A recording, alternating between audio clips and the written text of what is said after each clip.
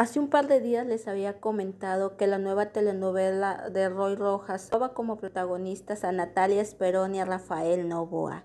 Varios medios de comunicación el día de hoy dieron la noticia de que efectivamente el triángulo amoroso iba a estar compuesto por Natalia Esperón, Rafael Novoa y Jorge Salinas. Pero de último momento cambiaron al protagonista y el protagonista va a ser Jorge Salinas.